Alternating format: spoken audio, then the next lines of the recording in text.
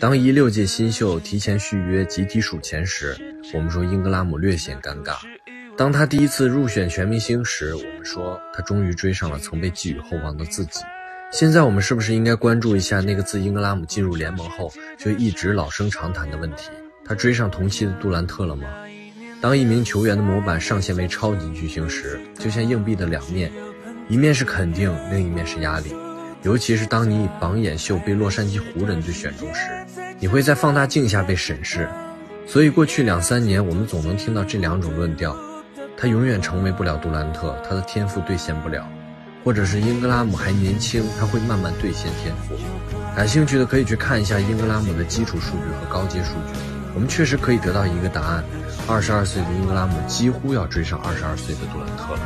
而这个几乎可能代表那些无法准确完成的对比，以及任何人都没办法敲定的控制变量。这个几乎也代表着英格拉姆相比于杜兰特还依然欠缺的那份稳定性。从被湖人选中起，他就面临着巨大的关注。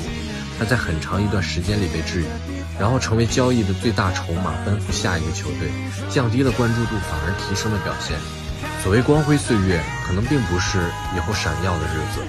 而是被质疑时你对梦想的偏执。才二十二岁的英格拉姆，已经将要等到属于自己的闪耀时光，开启自己的主角光环了。